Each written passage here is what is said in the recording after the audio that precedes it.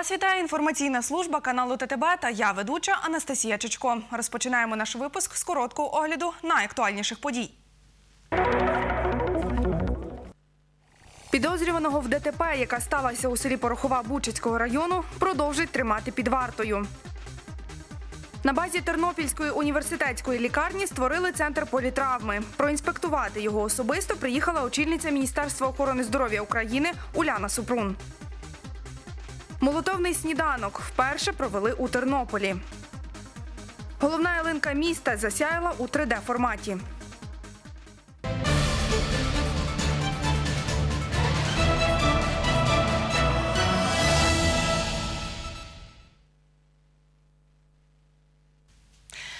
Тернопільщині кількість хворих на грип та ГРВІ утримується на рівні сезонної, відповідає середньому показнику цієї пори року і не перевищує епідеміологічного порогу. Про це повідомили на сайті головного управління Держсанепідемслужби в Тернопільській області.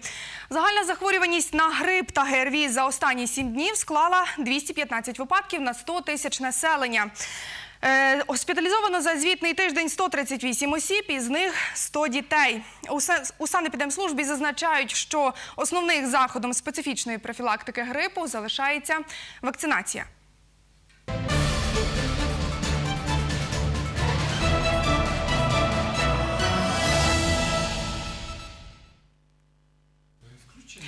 Перші години для пацієнтів із травмами є найважливішими. Щоб максимально швидко та злагоджено рятувати життя людей у університетській лікарні створили центр політравми. Проінспектувати його приїхала і очільник Міністерства охорони здоров'я України Уляна Супрун. Як вона оцінила проект вартістю у 7 мільйонів гривень, дивіться у наступному матеріалі. За даними Нацполіції, з початку року в Україні у ДТП травмувались 28,5 тисяч осіб. Частиною цієї сумної статистики минулої п'ятниці стала тернополянка Наталя, яку на пішохідному переході збила автівка. В результаті жінка отримала численні травми і вже перенесла кілька операцій. На пішохідному переході е, наїхав водій. Були дуже численні травми. Ну, лікарі навіть думають, що несумісні з життям. Лікарям вдалося врятувати жінку після п'яти днів реанімації і перенесених операцій. каже, почуває себе краще. Тепер лікарі мають належні умови, аби надавати комплексну допомогу таким важкотравмованим пацієнтам. Хворий з політравмою це хворий, який отримав множинні ураження різних систем і, е, систем і органів. Тому допомога повинна надаватися одномоментно. От в чому проблема сьогодні, то що говорила пані Уляна, в чому проблема? Чому гинуть люди? Тому що в перші золотий години е, надання допомоги ми починаємо його возити з одного стаціонару в другий, а це е, теркальний травма, це таз, це це, і хворий ми втрачаємо час. Це кардинально змінить відношення до цих хворих і кардинально змінить результати. Ми змогли створити е, таке відділення ВАІТа, яке буде надавати невідкладну допомогу хворих з критичних станах. І в нас є вся структура спеціалізованих відділень: ортопедія, нейрохірургія, очне відділення, де є травпункт, торакальна хірургія, е, е, су- судинна хірургія і в майбутньому буде кардіохірургія. Очільниця МОЗу Уляна Супрун оглянула відділення, нові палати, поспілкувалася із лікарями та медсестрами і після короткої інспекції заявила, що відділення політравми у Тернополі найкраще серед тих, які існують в Україні. Однак наголосила, не нові ліжка та обладнання будуть рятувати людей, а медперсонал, який до того пройшов спеціальну підготовку за міжнародними стандартами. Наші лікарі нашого відділення і не тільки нашого відділення, а й лікарні проходили спеціалізовані курси цього року, тобто UTLS-курси, е, підтримка життєдіяльності під час травми. Частина лікарів проходила Ку- в Києві, а частина проходила ці курси на базі нашої університетської лікарні, де були залучені як і українські викладачі, так і викладачі за кордону. І на цьому підготовка тернопільських фахівців не завершиться. Уляна Супрун запросила медпрацівників перейняти досвід лікування пацієнтів із важкими травмами у київських колег. В Києві є лікарня, 17-та міська лікарня, де вони бачать, і це, не перебільшення, в 100 разів більше травми, ніж бачать тут у Тернополі. Вони готові брати лікарів, медсестер, анестезіологів до себе на 2 до 4 тижні і показувати їм по травмі, як е, працювати, щоб набути більше досвіду. Закликаємо лікарів, медсестер, анестезіологів, всіх, які працюють, щоб вони а, а, поговорили із своїм головним лікарем, і ми готові, щоб це сприяти, а, щоб в них було відрядження. А по стороні а, в Києві можемо допомогти, щоб все було надано, щоб вони мали місце проживання і місце роботи. І додала, 75% пацієнтів, які отримали політравми, помирають ще до того, як потрапляють в лікарню. Аби змінити цю статистику, наступним етапом має стати вдосконалення роботи швидкої допомоги. Ми орієнтувалися на захід все-таки і вчили людей своїх за кордоном. Ми весь цей час працювали над тим, щоб вивчити людей по сучасних світових стандартах, щоб вони надавали допомогу саме якісно. І е, ми в майбутньому е, очікуємо таким чином, що ми е, будемо працювати швидкими допомогами для того, щоб цих пацієнтів якомога скоріше з районів доставляли до нас, щоб вони на етапах, е, скажімо так, госпіталізації не затримувалися, це надавалося якомога якісніше, скоріше на тому місці, яке максимально готове до цього. Доповненням центру політравми в університетській лікарні стане нове кардіохірургічне відділення, на яке вже витратили близько 35 мільйонів гривень. Однак роботи там на завершальному етапі, тож перші операції планують провести вже цієї зими. Оксана Максимлюк, Юрій Багрій, Вісті ТТБ. Використовувати піротехнічні засоби у Тернополі заборонено, нагадують поліцейські. За таке порушення передбачена адміністративна відповідальність. Однак деякі тернополяни скаржаться, що регулярно чують вибухи петард біля центральної ялинки. Заборону на використання піротехніки встановили в обласному центрі у 2014 році після початку антитерористичної операції. Однак тернополяни скаржаться, що ввечері біля ялинки регулярно лунають вибухи петард. Чули сьогодні. Буквально пару хвилин тому, як йшли сюди з автобуса, то бачили, що щось стріляє. Негативно відносимося до цього. Дитина лякається, що часом здригається, якщо стріляє щось біля ноги, може встрілити. заважає. Особливо, коли йдеш з маленькими дітьми, боронь Боже, око, вуха, ну це дуже небезпечно. І продаються в відкритому доступі навіть в цих будках. Зараз я їхав в парку Шевченка, я чув, що десь зі сторони театрального майдану вибухала піротехніка. То тут все-таки в нас є військові, які приїхали на відпочинок і хочуть відпочити від тих всіх вибухів. З іншої сторони, все-таки це є травма небезпечно, тому що ну можуть і от, будь ласка, коні тут на площі є, вони можуть сполохатися, злякатися, особливо якщо в кареті будуть сидіти діти, то це є дуже небезпечно. Цьогоріч випадки неправомірного використання піротехнічних засобів патрульні не зафіксували. Минулоріч такий виклик був лише один, зазначають правоохоронці. Тернополяни звернулись у поліцію, бо чули вибухи петард біля свого дому. Однак у суді справу закрили. Минулого року, в січні місяці, в нас було зафіксовано лише один виклик е, про те, що е, ну. Про те, що е, використовують піротехнічні засоби, а саме стріляють пітардами.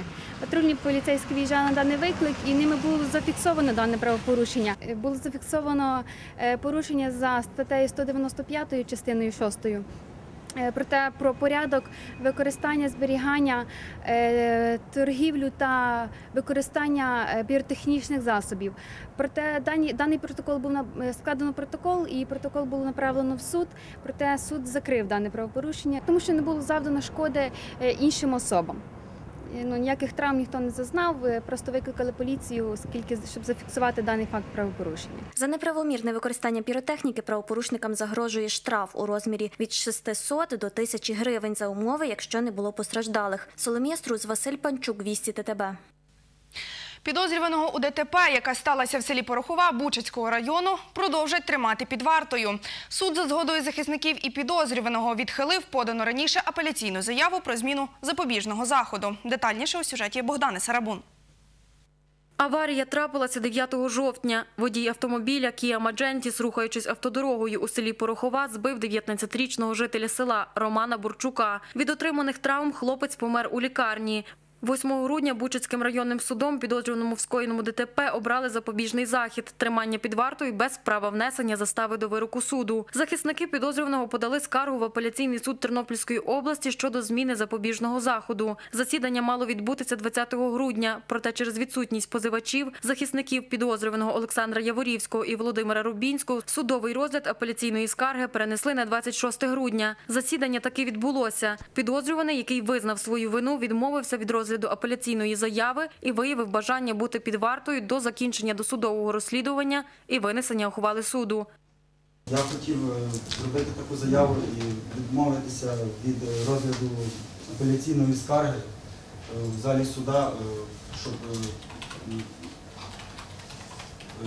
повністю співпрацювати зі слідством і е, знаходитися під вартою надалі, щоб у потерпілих не було більше сумнівів про те, що я там хочу десь нібито переховуватися або кудись тікати.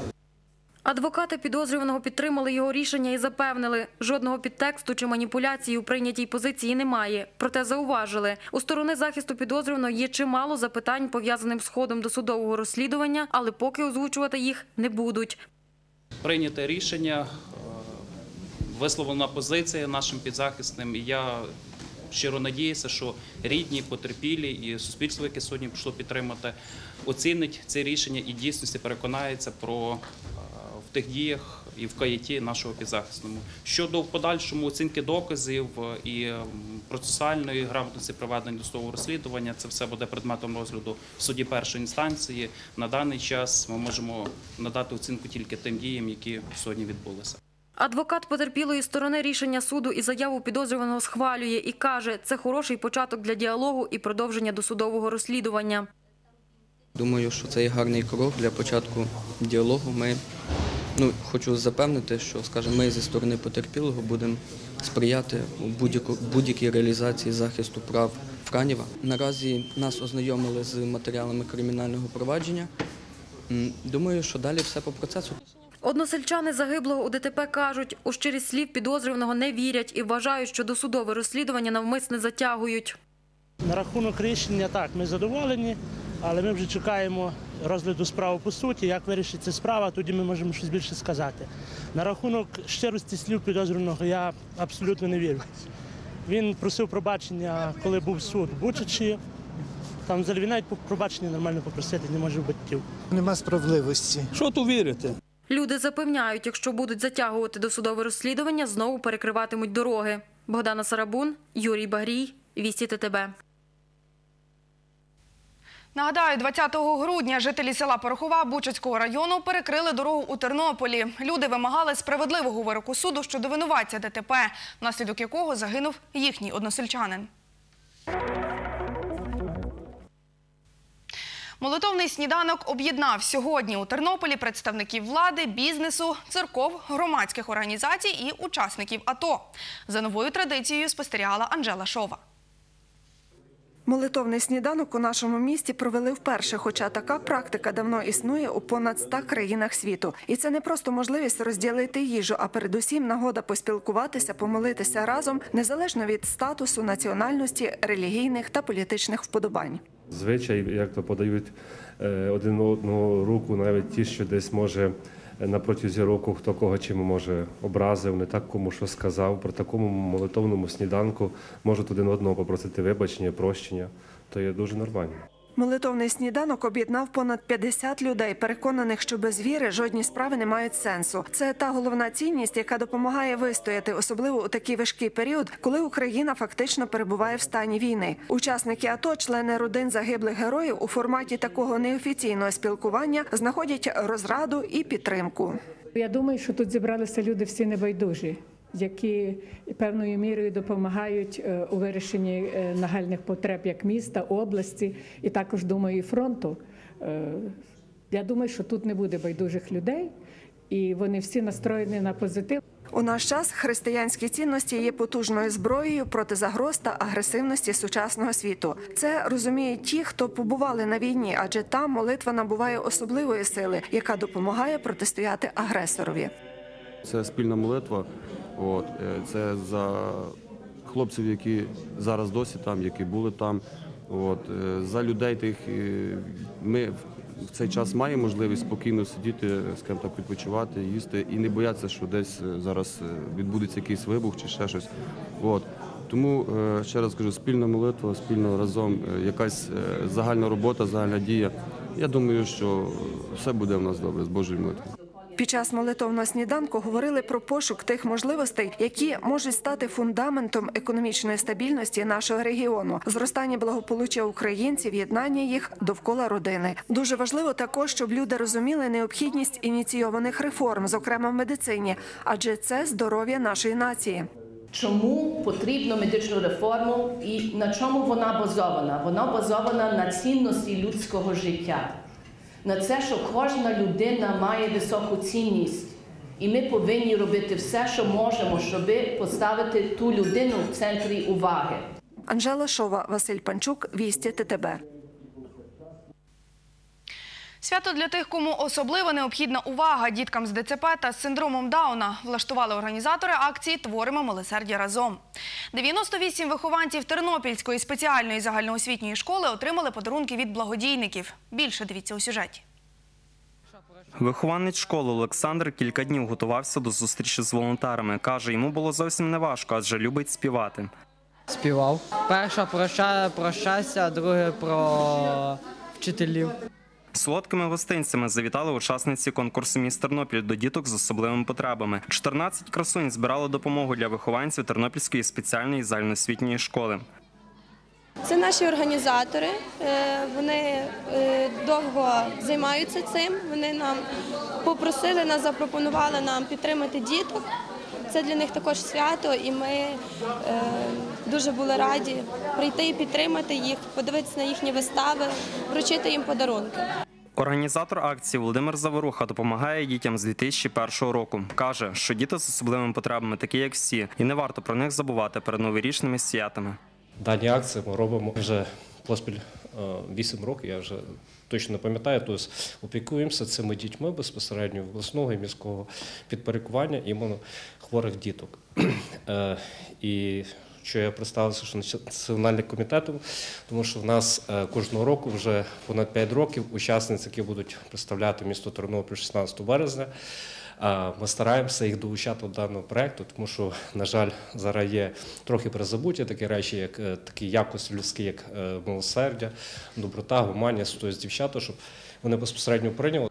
Святковий концерт, який підготували діти з особливими потребами, подяка організаторам акції Творимо милосердя разом за те, що ніколи не забувають про них. Вихователь групи продовжного дня Тернопільської спеціальної загальноосвітньої школи Раїса Прийма каже, що діти з нетерпінням чекали на подарунки. Це дітки, які е, потребують уваги зі сторони як батьків, вчителів, так і зі сторони міста.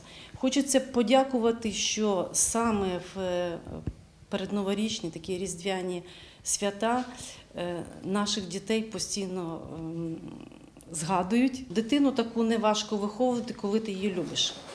Коли ти її любиш, коли ти відносишся до неї як до е, себе самого, е, дитина віддасться тобі. Організатори акції кажуть, що радісні очі дітей це найкраща винагорода для них.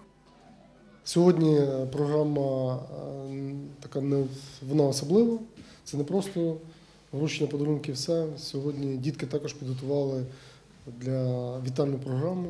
Богдан Боденчук, Андрій Прокопів, Вісті ТТБ.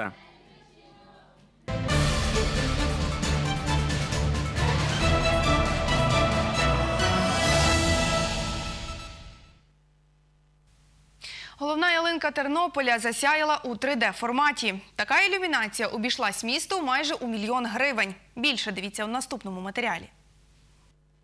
Ілюмінація вартістю 880 тисяч гривень тепер прикрашає новорічну красуню Тернополя. За право нарядити головну ялинку міста у 3D змагались три підприємства у системі Прозоро. Перемогла місцева компанія Ялинка України. Хоча Київське товариство з обмеженою відповідальністю за освітлення ялинки просило 750 тисяч гривень. Їх пропозицію відхилив тендерний комітет міськради. Одна з фірм, яка дала нижчу ціну, не дала всієї документації, зокрема технічну специфікацію, не вказала. Тобто вона щось виграла, приїхала, але не- не зазначила, що саме вона пропонує. Тому е, її е, пропозиція була трошки дешевше, але не виконані були формальні вимоги. Ну а формальні вимоги це дуже важливі, тому що якщо ви щось купляєте, то переможець або претендент на перемогу повинен показати специфікацію, що він вам продає.